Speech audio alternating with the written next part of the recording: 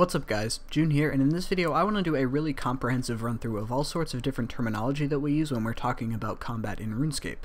Hopefully this will help bridge the gap between both newer players and people who maybe haven't thought about combat in detail, but also there's going to be tons and tons of info in here, so much so that I'm pretty sure everybody watching will learn something. If you are looking for something in particular though, check out the video description where I've included timestamps to all of the different subject matter. Let's get started by taking a look at three important reference points that help give us some information about combat.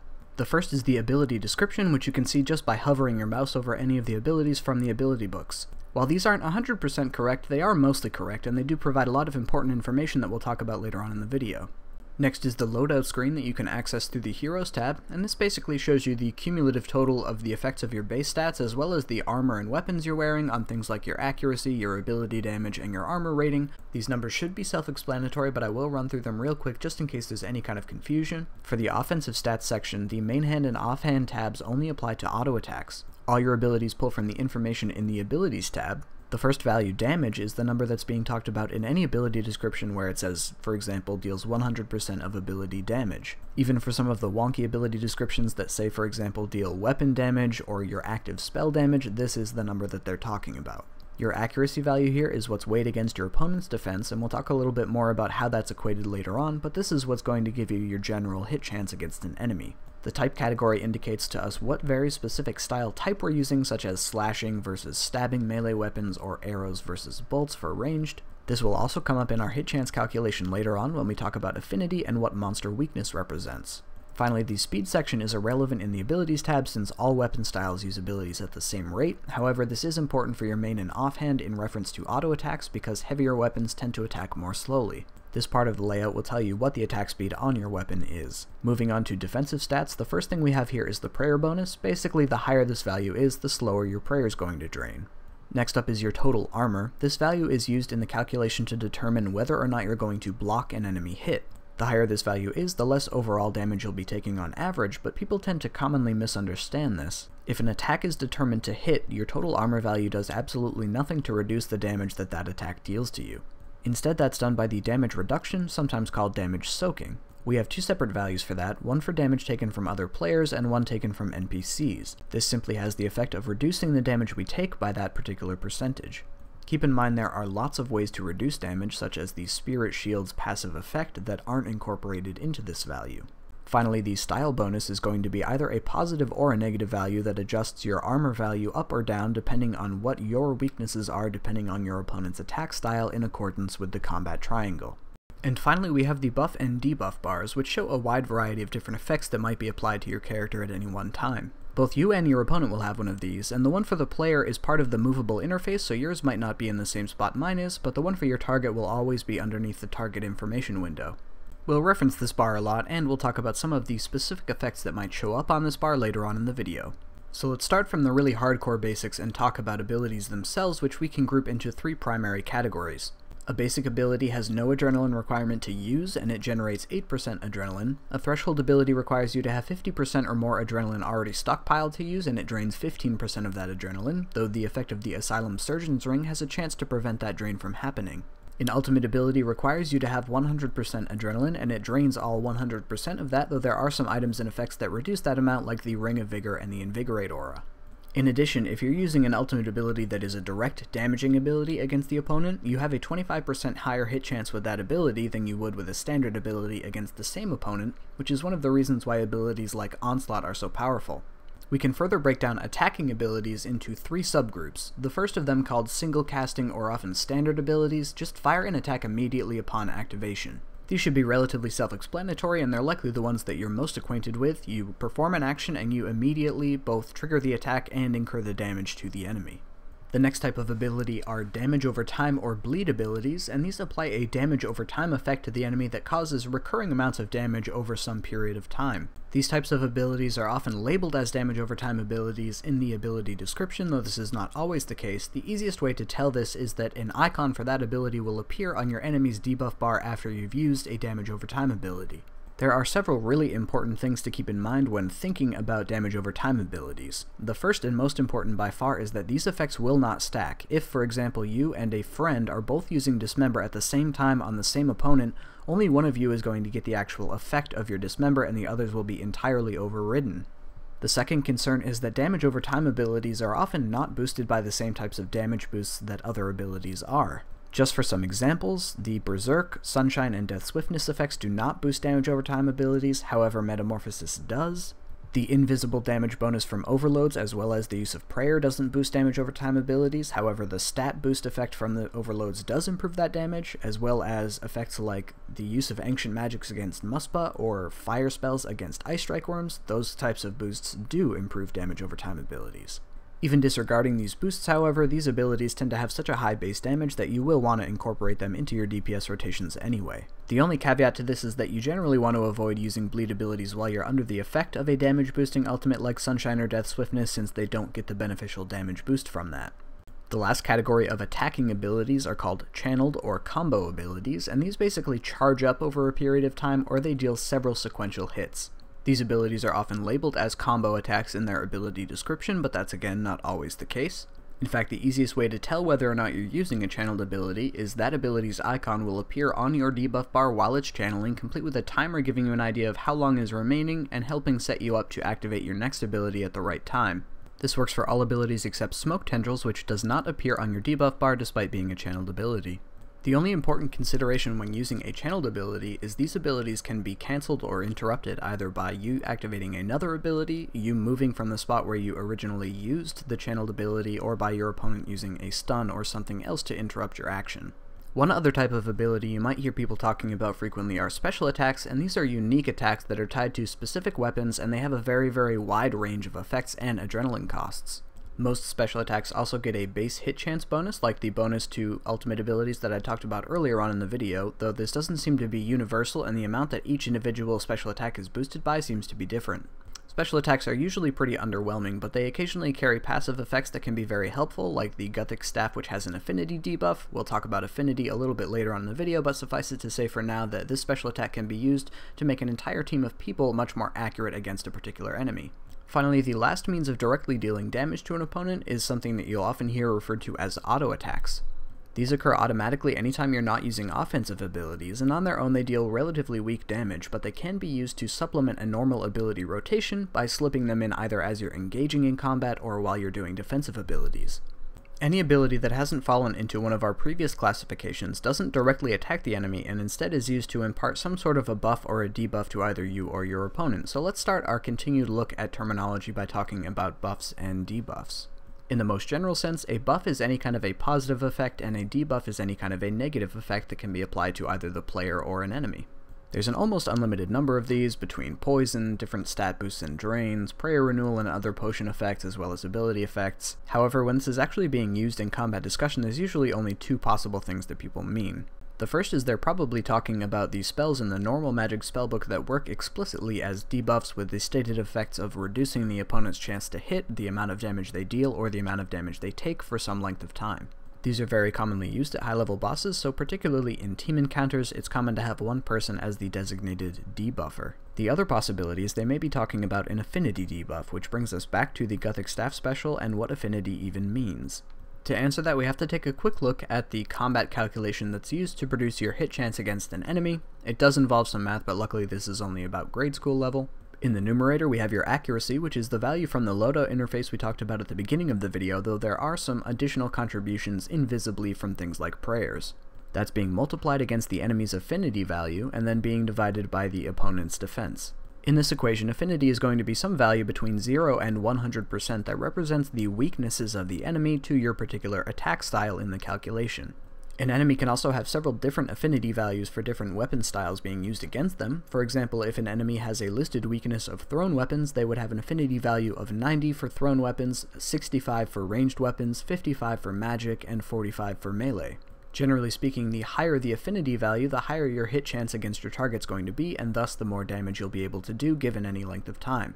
The cool thing here is that there are some effects that will increase an enemy's affinity, like the Guthix Staff special attack I talked about earlier, which will increase their affinity by 2 for 1 minute. The Statius Warhammer is another common choice. The special attack there will increase the opponent's affinity by 5 for 5 minutes. And there are several other common sources like the Bandos Godbook, the Quake ability with two-handed melee, as well as many many more special attacks. All of these effects will stack up to a maximum cap of 5 points being added to Affinity, but the best part of this particular debuff is that because it's applied directly to the enemy, all of your teammates benefit from the increased hit chance as a result.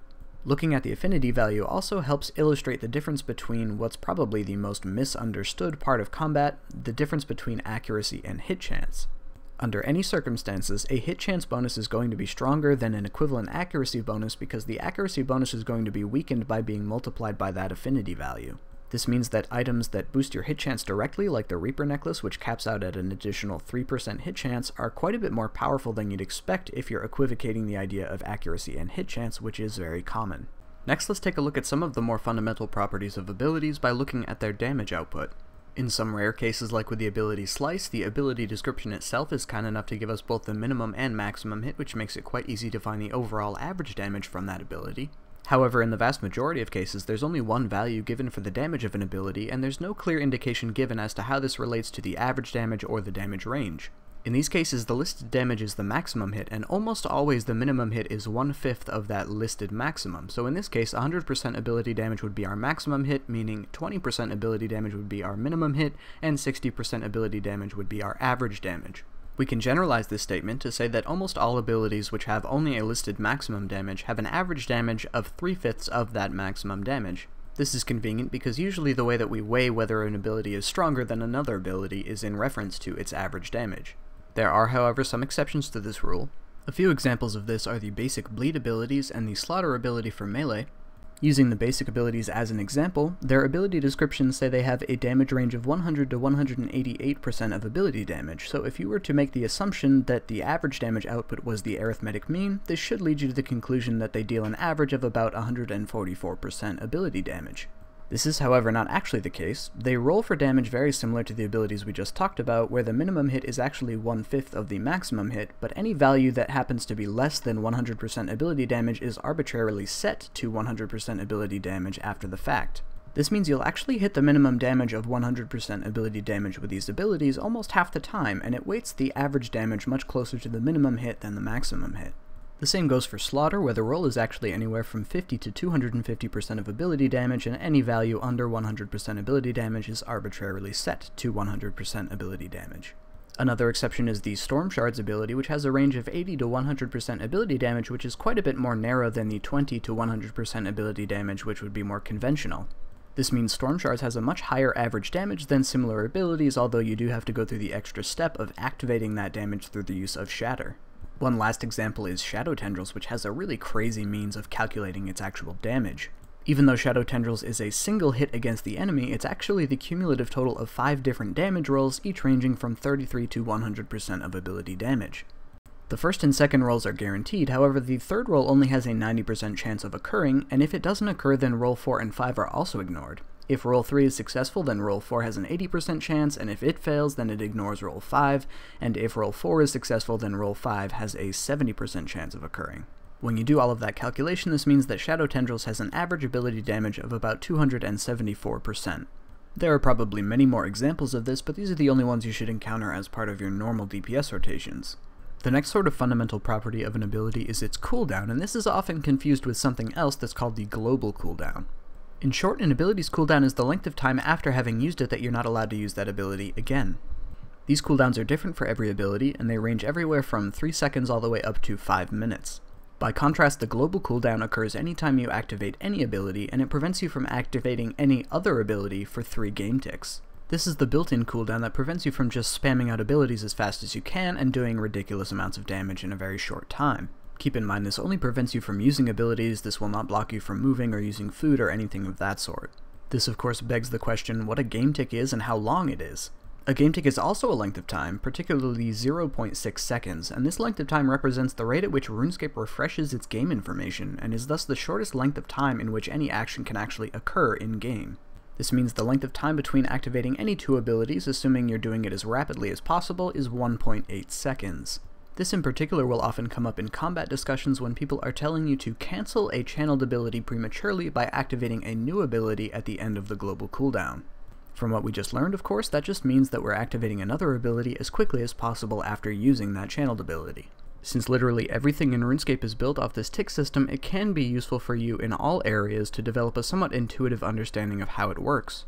In my opinion, one of the easiest things you can do to build your understanding of the tick system's pace is to turn off run mode and just walk around for a few minutes.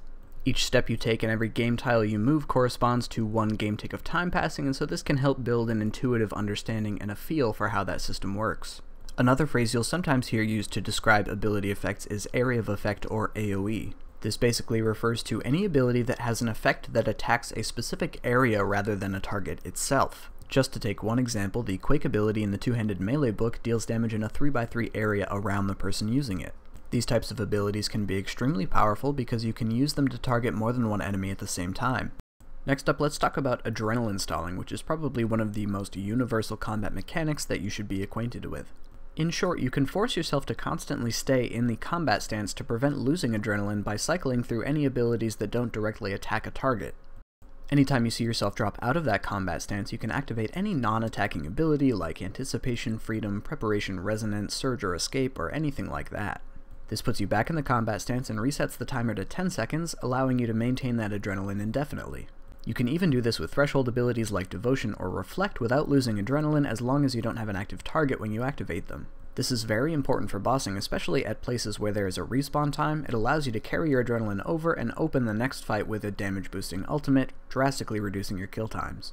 Finally, let's just wrap up with a bit of random terminology. DPS, DPM, and DPT just stand for damage per second, minute, and tick respectively, and these are often used interchangeably, Basically speaking, these are the units that we use to talk about damage output in a meaningful way as it pertains to an ability rotation, very similar to the way that you would quantify speed in terms of meters per second, we quantify our damage output by damage per second. Next up are hit caps which come in two types, hard and soft. The hard cap is almost universal. You can deal up to 10k with normal hits and this is expanded to 12k for critical hits and you can hit up to 30k with shatter and onslaught. There are some exceptions where a mob can have a specific hit cap, like Muspah, where their hit cap is 20k, but these are few and far between. By contrast, a soft cap is more of an enemy mechanic that reduces the amount of damage that you're able to deal past some threshold. One example of a soft cap is on the Zaros phase of the Nex fight, where any damage dealt past 2000 for each individual hit is reduced by 75%. Each of her minions also has a soft cap, which is very obvious. Regardless of whatever ability you choose to use, they tend to only cap out around 1200 damage. In circumstances where these types of effects are in play, you should change your DPS strategy to accommodate for that, by favoring things like damage over time abilities or combo abilities like Rapid Fire as opposed to really strong single damage abilities like Shadow Tendrils. This also begs the question what a critical hit is, and this is mostly a cosmetic effect that indicates that you've hit within 95 to 100% of the maximum damage of that ability. Critical hits get a slightly fancier hit splat and they benefit from the expanded damage cap. Next is something you'll hear in reference to high-level bosses a lot, and this is prayer flicking, which is basically the act of rapidly swapping between multiple prayers, usually a deflect prayer and soul split. This obviously requires a lot of effort, but it can be very beneficial since you do get the full damage reduction of the deflect prayer while you're actually being struck by attacks, but you can heal from the soul split between those attacks. This dramatically cuts down on food consumption and makes you much more effective at any boss that requires you to use a deflect prayer. Next is a pretty widespread phrase, but walking or dragging an enemy means moving the opponent by either moving underneath of them or outside of their attack range respectively. Walking can also be used as a strategy for a few of the very low level bosses to prevent them from retaliating at all. If someone suggests you death dot or DD, they're suggesting that a group of people all stand on top of each other. This term originally came from the PKing community where it was used to disguise the size of a team on the minimap in the wilderness. Since then, though, it's become pretty widespread terminology, and you'll see it pop up in boss encounters where people are trying to avoid some type of an area avoidance mechanic like on Yakamaru's Shark Pool. Another term which can be quite vague is stacks, which is used usually in two contexts in PVM discussion. The first context is probably the Storm Shard's ability. Using that ability applies one shard to the enemy, which stack up to a potential 10, which can be activated by the ability Shatter to deal damage to the enemy. The second is any kind of a boss mechanic that can be applied in increments. Using Yakamaru as an example, each attack that he deals increases the amount of damage that you'll receive from all of his attacks, and people generally call these damage stacks. Beastmaster and the pets have similar damage stack mechanics, and Greg has some abilities that gain stacks as he consumes red ghosts. And finally, we'll close the video with what I hope is probably the most self-explanatory of all the terminology we've talked about today, which is off. This gets used in the context of any kind of a boss that has a reflect mechanic, and it just means stop attacking. Thank you guys as always for watching. If you think there's something I missed, which is certainly possible, there's so many different things to cover, drop it in the comments below and I may revisit this later on, make a second video to cover some terminology that I glossed over. Same goes for any questions, I'm happy to answer as much as I can, so drop them in the comments below, and I'll see you guys in the next video.